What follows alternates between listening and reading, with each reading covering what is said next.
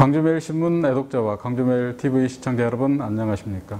민선 6기 지방자치가 출범한 지 어느새 2년이 되었습니다. 지난 2년간 단체장들이 주민과 지역 발전을 위해 어떠한 노력을 기울였는지 중간 점검이 필요한 시점입니다. 오늘은 광주매일신문 창간 25주년 기념으로 모두가 행복한 희망 안도를 슬로건으로 불철주야 뛰고 있는 신우철 안도 군수와 토크앤 대담을 갖도록 하겠습니다. 군수님 반갑습니다. 네, 반갑습니다. 민선 6기 2주년을 맞은 소감과 평가를 해주시죠. 어, 글쎄요, 벌써 취임한 지가 2년이 다 됐네요. 어, 그동안에 모두가 행복한 희망 언도를 어, 군정 목표로 세우고 어, 아주 꾸준히 추진해 왔습니다. 먼저 국민이 행복하려면 무엇보다도 국민들의 소득이 보장돼야 되지 않겠습니까?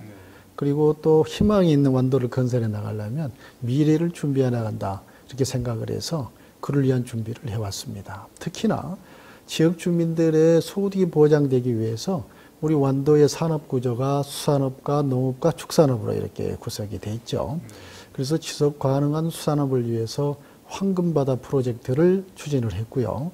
그리고 농업도 자연 그대로 농업, 또 축산업도 자연 그대로 축산업을 실천을 해서 이제 농수 축산업이 동반 성장하는 아, 그런 것을 우리가 아, 추진해 왔고요.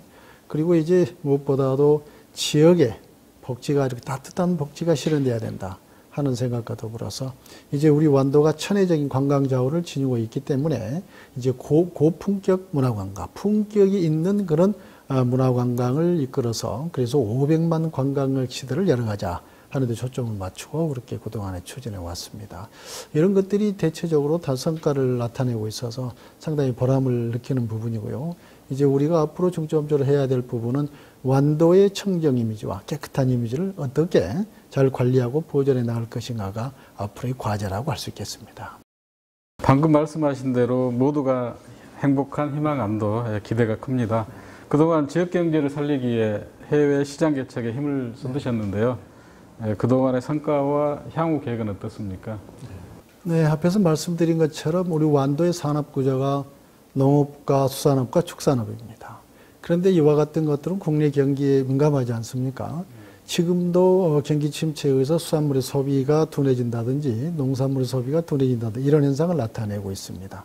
그래서 생각해 내는 게 이제야말로 해외 시장을 개척하지 않으면 안 될 때다. 이렇게 생각을 해서 대만, 중국, 일본, 미국을 이렇게 차례로 순회를 하면서 이제 우리 완도의 수사, 수산물, 농산물, 축산물에 대한 우수성과 그리고 안전성을 홍보하는 기회를 많이 가졌습니다. 그 결과로 지금 중국에서 전복을 수입해 가는 경우라든지 그리고 미국에서 해조류와 전복을 수입해 가는 이런 상황이 지금 진행되고 있습니다. 네. 최근 전복이 중국으로 수출되고 있다고 들었습니다. 전복 산업을 활성화하기 위한 안도군의 세부적인 수출 전략이 궁금합니다. 그렇습니다. 우선 전복 산업을 크게 세 가지로 구분해서 보면요. 생산의 문제점, 가공의 문제점, 그리고 유통의 문제점 세 가지를 생각할 수가 있죠. 근데 그동안에 생산의 문제점은 이제 해결을 했습니다. 그리고 가공의 문제점도 육질과 껍질 그리고 내장을 다 가공할 수 있는 다 활용을 해서 부가가치를 높일 수 있는 것을 이제 모색하고 있기 때문에요. 문제는 이제 유통입니다. 그래서 이와 같은 걸 이제 해외 시장 개척을 위해서 해결해 나가자. 그래서 전복의 소비 둔화를 위한 가격 하락 현상을 막으려면 해외 시장 진출이다. 이렇게 생각을 해서 그동안에 위에시에다가 어, 그 보세무역센터에다가 우리 홍보관을 설치하고 거기에서 이제 홍보를 하고 있는데 그런 효과가 지금 나타나고 있는 것입니다. 네. 네. 예, 완도는 참 섬이 많은데요.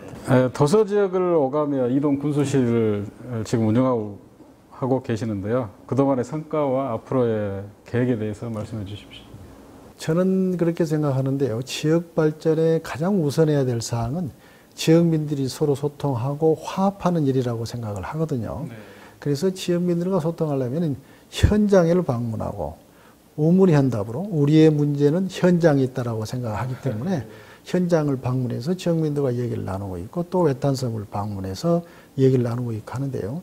특히나 이동군수실을 통해서 전복이 안고 있는 문제점 또 농업이 안고 있는 문제점을 허심탄회하게 털어놓고 얘기를 하면서 거기에서 문제점을 찾았다는 게 가장 보람 있는 일이라고 생각을 하고요. 앞으로도 이와 같은 것은 보다도 아주 자주 기회를 가지려고 하고 있습니다. 모두가 행복한 희망 완도 여러 가지 그 시책들이 있을 건데요. 지난해 그 복지 사각지대에 놓인 소외계층과 노인들의 복지 정지를 위해 완도군 행복재단을 설립하셨다고 그래요. 예, 어떻게 현재 운영되고 있나요? 그와 같은 행복복지재단을 설립하게 된 배경에는요, 앞으로 갈수록 이제 복지비의 부담률이 중앙정부에서 지방정부로 이렇게 예, 부담이 커지고 있습니다. 그리고 우리 경우만 하더라도 약 22%의 부담률인데요. 그러면 앞으로 이와 같이 부담은 커지고 또 복지 사각지대에 있는 어려운 분들이 있는데 이분들을 어떻게 우리가 도울 것인가 하는 생각 끝에 행복복지재단을 설립을 하고 그 복지재단에서 어, 중앙정부나 지방정부가 하지 못한 일을 해서 우리 지역민들이 또 그 사각지대에 있는 어, 그 수혜자들을 대상으로 해서 혜택을 주자 하는 차원에서 행복복지재단을 지난해 10월 2일 날 이렇게 설립을 하고 지금 추진하고 있는데 어, 벌써 그동안에 어, 기타금만 하더라도 8억이 넘어가거든요. 그래서 우리 지역 주민들이 이렇게 적극 동참하고 있어서 상당히 기대가 되는 부분입니다. 문화 관광 참 중요한 지금 시대적 과제인데요.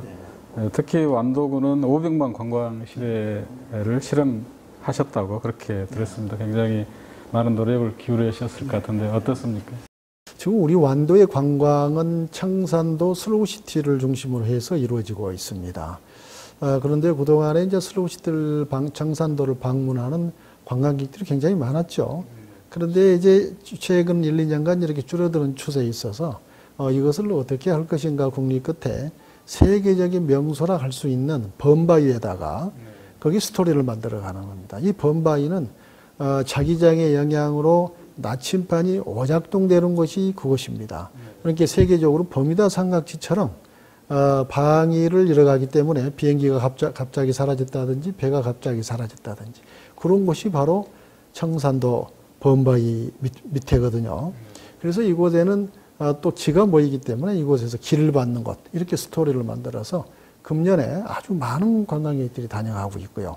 이걸 중심으로 해서 완도에는 보길도 윤선도 유적지가 있죠. 또 여기를 개발을 하고 그리고 가고 싶은 섬으로 소환도가 지정이 돼 있죠.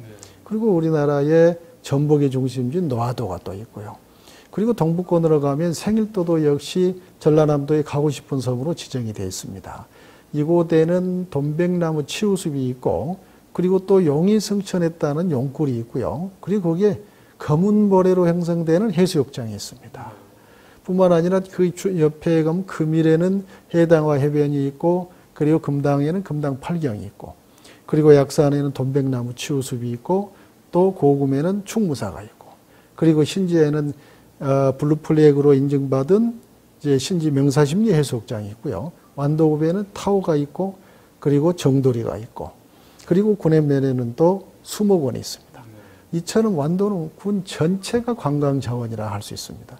그래서 이와 같은 이제 크루즈 관광을 어, 실시해야 될 때가 왔지 않냐. 그렇게 해서 500만 관광의 시대를 열어가겠다 하는 것입니다. 네. 완도군은 해양 생물 산업에 많은 투자를 하고 있고 또 해양 헬스케어 산업 유치에 또 심혈을 기울이고 계시는데요. 해양 헬스케어는 무엇이고 또 어떻게 준비하고 계시는지 말씀해 주십시오. 네, 우리 완도는 정말 천혜적인 자연 환경이 있죠. 거기에다가 아주 또 해풍과 같은 기후 조건이 또 남다르고요. 그리고 바다는 정말 대한민국의 청정바다 수도로 선포할 정도로 가장 깨끗한 바다를 유지하고 있고 그리고 가장 많은 다양한 생물이 서식을 하고 있고 그러면서 가장 우수한 그리고 안전한 수산물을 생산해내는 것이 바로 완도입니다.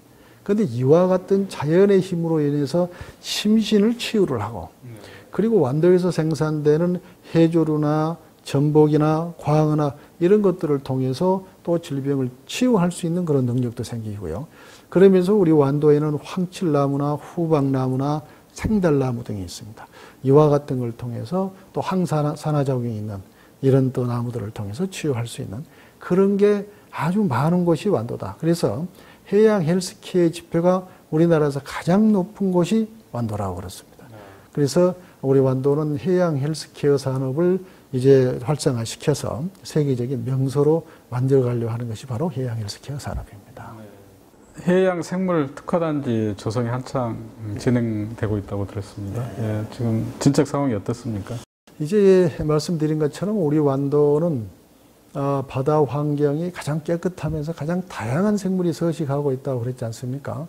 그래서 이제 바다의 생물을 통해서 거기서 기능성 물질이나 그 다음에 기능성 식품 그리고 에너지를 개발해낼 수 있는 다양한 것들이 생겨날 수가 있죠. 그래서 지금 어, 해양생물연구센터 그리고 여기에는 해조류연구센터, 전봉연구센터가 지금 다 들어와 있습니다. 그래서 이런 곳에서 각기 연구 활동을 통해서 우리 완도에서 생산되는 해조류를 가지고 또 거기에 여러 가지 어, 가공품이라든지 아니면 에너지 개발을 한다든지 이런 것들을 어, 그 생물센터에서 앞으로 연구를 계속해 나갈 것입니다. 네, 끝으로 민선 6기 후반기 예, 2년을 어떻게 이끌어 가실 계획인지 예, 그렇습니다. 말씀- 목표처럼 국민 모두가 행복을 해야 되니까 우선 국민들의 소득을 높여가고 그리고 지역 경제를 활성화시키는 일에 총력을 우선 다 할 겁니다. 그것이 기본이 되려면 이제 국민들이 소통하고 화합하는 분위기가 기본이 돼야 되거든요. 여기에 지금 산업 구조가 그렇게 됐듯이 수산업과 농업과 축산업을 동반 성장시켜 나가는 쪽에 총력을 기울여야 되겠고요. 그러면서 이제 따뜻한 복지 사회가 이루어지도록 그렇게 해야 되고 어, 그런 가운데서 이제 500만 관광 시대를 열어가도록 품격 높은 문화 관광 그러면서 우리 완도가 지니고 있는 이와 같은 천혜적인 환경을 어떻게 깨끗하게 잘 지켜나갈 것인가 그러면서 이제 앞으로 가야 될 가장 중요한 산업인 이제 해양 헬스케어 사업을 우리 지역에 유치하는 문제하고 그리고 내년에 있을 2017 국제 해조류 박람회를 어떻게 성공적으로 마무리할 것인가가 아, 우리 군의 아주 핵심 과제라고 할 수 있습니다. 지금 말씀드린 이런 내용들이 하나도 차질 없게 에, 추진될 수 있도록 모든 역량을 모아갈 것입니다. 이상으로 신호철 완도 군수로부터 민선 6기 전반기 군정 운영 성과와 비전에 대한 이야기를 들었습니다. 광주메일 TV는 앞으로도 계속해서 지역 단체장들과 토크앤 대담을 이어갈 예정입니다. 광주메일 신문 애독자와 광주메일 TV 시청자 여러분 감사합니다.